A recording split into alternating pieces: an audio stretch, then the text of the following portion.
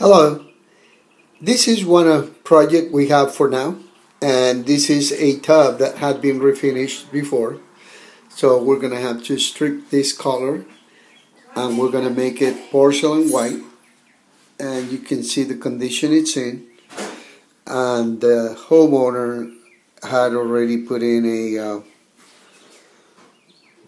brand new surround and she just wants this to be refinished because it this is a pretty good eyesore.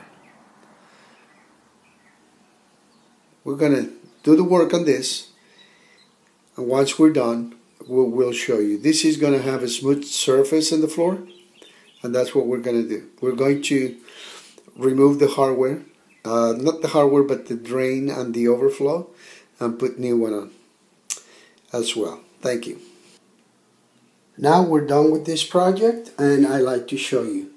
We uh, change the drain and the overflow. As you can tell they're brand new. We cut the area up.